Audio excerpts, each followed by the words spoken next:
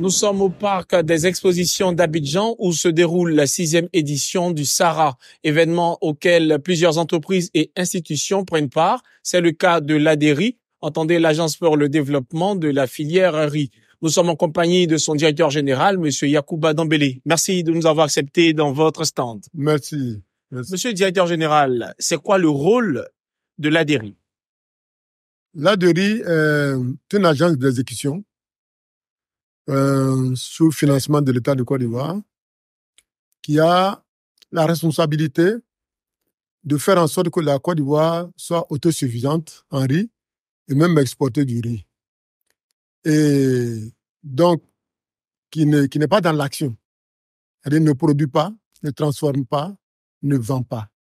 Mais elle est responsable de l'autosuffisance en riz, en ce sens que elle doit faire en sorte que chacun des acteurs de la filière puisse être dans les meilleures conditions possibles pour produire et faire des profits. Voilà.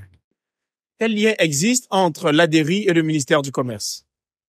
Euh, le ministère du Commerce est un ministère, donc c'est une hiérarchie pour nous. Mais le ministère, euh, la, l'ADERI a deux tutelles. La tutelle technique, le ministère d'État, ministère de l'Agriculture et du Développement rural, et la tutelle financière, le ministère de, euh, du budget. Voilà, voilà les deux, les deux tutelles que nous avons. Cependant, le ministère du Commerce euh, est membre du conseil de surveillance de l'ADERI, voilà, pour donner les orientations. Ces derniers temps, la population ivoirienne a assisté à une grimpée euh, du, du prix du riz dans les différentes surfaces. Qu'en est-il effectivement? Bon, je ne peux pas tellement répondre parce que je ne suis pas à l'importation. Nous sommes à la production nationale. Euh, les importations, ce que je sais, c'est que nous avons des informations chaque mois sur les quantités de riz importées par variété, par importateur et par quantité. Bon, pour faire des analyses à notre niveau. Sans quoi, pour parler d'importation du riz, euh, des spéculations sur le marché, je pense que c'est le ministère du Commerce qui est compétent pour en parler. Beaucoup d'Ivoiriens, pardon, en souffrent. Ils estiment que les prix des, différents riz importés sont euh, coûtent assez cher. Comment pensez-vous, pardon, qu'on peut résoudre ce problème? D'abord, avant de parler de comment on va résoudre ce problème, il faut comprendre la situation qui se passe actuellement. L'Inde a eu, euh, ces derniers temps, une sécheresse qui a fait réduire sa production d'environ 40%. Donc, automatiquement, en tant que pays souverain, ils ont pris des dispositions pour sauvegarder la consommation nationale. Donc, euh, ils ont arrêté tout ce qui est exportation du riz en dehors du basmati, qui est une variété de riz un peu particulière. Et ainsi qu'il y a eu des restrictions sur les volumes qui devaient venir en Côte d'Ivoire. Donc, sur cette base-là, nos importateurs, automatiquement, se sont préparés à des augmentations de prix qui sont arrivées. Voilà, c'est tout. En fait, entre l'offre et la demande, il y a eu un dérèglement là, du fait euh, de l'arrêt des importations de, riz indien. Du coup, la conséquence en Côte d'Ivoire, c'est quoi? Il y aura pénurie de riz ou augmentation de, de, de ces qualités de riz? Non, pas de pénurie parce que, euh, d'après les informations que j'ai, il y a des stocks suffisants. Euh, D'abord, nos importateurs ont suffisamment de stocks. Ensuite, l'Inde n'a pas arrêté totalement.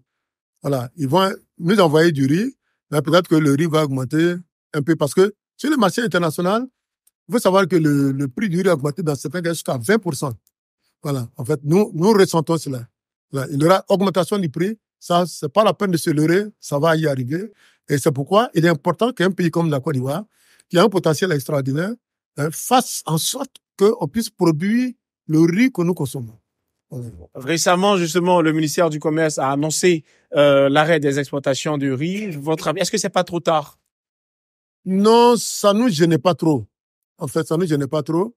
Euh, nous avons les exportations vers la région de, de Touba, Waninu, la région de Djenné, la région de, au nord de la Côte d'Ivoire, et puis à l'est.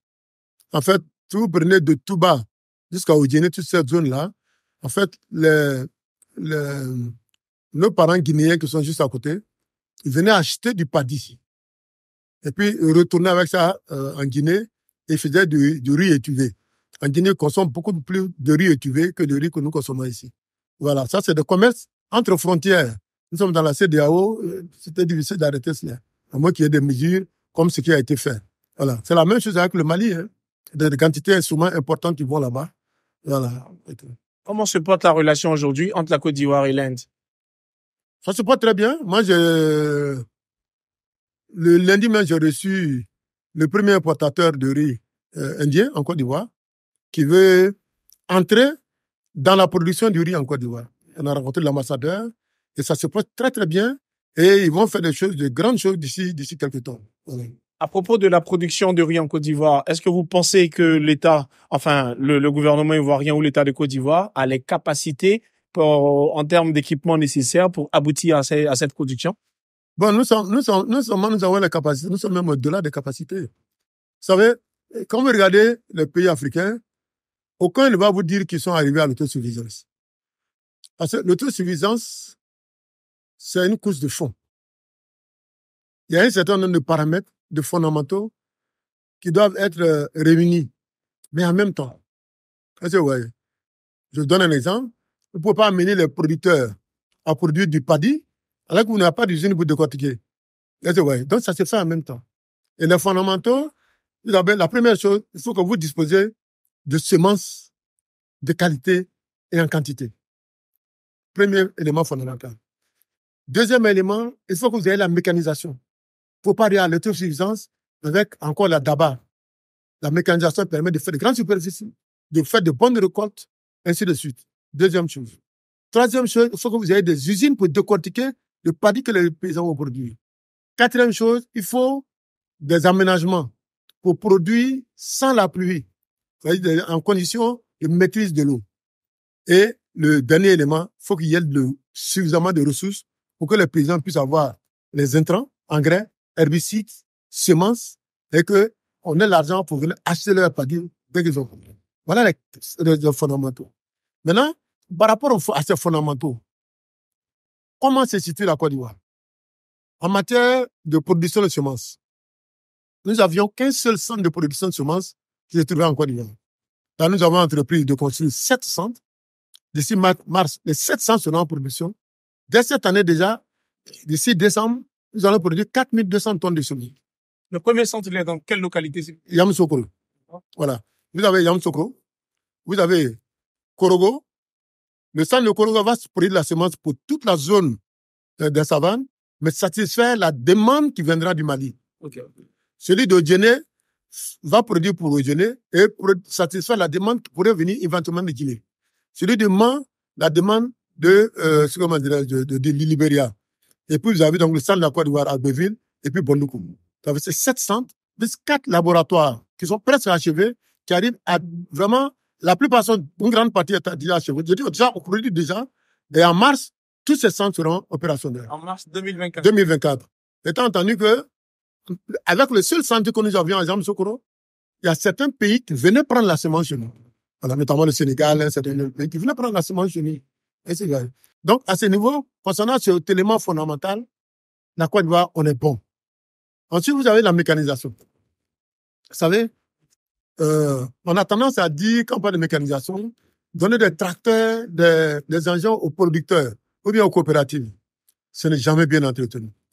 Et vous voyez, nous-mêmes, moi, vous me parlez, j'entretiens mal mon véhicule et vous allez donner un gros tracteur à un paysan, euh, après peut-être d'un problème de filtre à huile, c'est arrêté. Et puis c'est fini. Donc, nous avons pris l'exemple de l'Inde. L'Inde est partie passer de pays importateurs de riz à pays exportateurs hein, en faisant ce que nous en faisant ce qu'on appelle la prestation de services mécanisés. Donc nous, qu'est-ce qu'on a fait?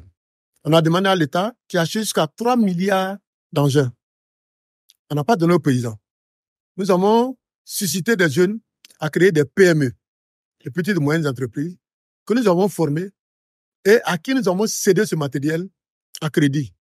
C'est-à-dire que euh, un jeune qui a peut-être un potentiel de valeur de 5000 hectares, il a, il a deux motoculteurs, euh, un tracteur, une boissonnette batteuse, ainsi de suite. C'est un kit qu'on lui donne. Et ce kit, il est remboursable. Le, le petit matériel, c'est-à-dire le motoculteur, sur trois ans, mais le gros engin sur cinq ans. Donc, nous avons installé ces jeunes-là un peu partout. À tel qu'aujourd'hui, notre taux de mécanisation est passé de 4% à 15% en l'espace d'un an et demi. Donc, c'est en train de monter en fait. Donc, concernant cet élément de fondamental aussi, je pense qu'on est bon. Ensuite, avec la, la transformation. Le président ne produit pas du riz, produit du pâtis. S'il n'y a pas d'usine pour transformer, ne va pas produire parce qu'il n'a pas la garantie de la commercialisation. Donc, à ce niveau, en 2012, nous avons installé une centaine d'usines qui font chacune entre 6 000 et 10 000 tonnes par an. Aujourd'hui, ça a tellement marché qu'aujourd'hui, au lieu de 100, nous avons 420 usines de ce type à travers le pays et qui sortent du riz de bonne qualité. Souvent, vous voyez le riz local sur le marché, les supermarchés, ça, ça vient de ces machines. Mais en plus de ça, l'État a entrepris de construire 30 usines, chacune de 25 000 tonnes, qui peut aller à chacune 50 000 tonnes.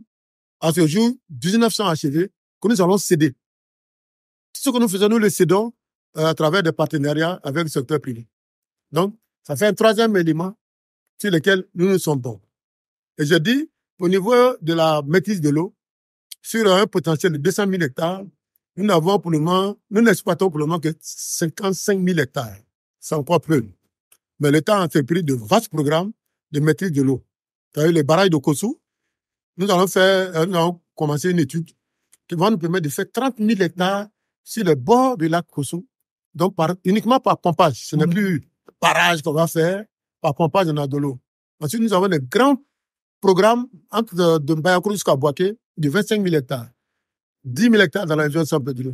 10 000 hectares dans la région de Seguila. Donc, tout ça mis ensemble va nous permettre de renverser la tendance entre riz pluvial et riz irrigué. Ensuite, l'élément qui manque, qui je peux dire le plus important, c'est l'argent. D'accord. Voilà.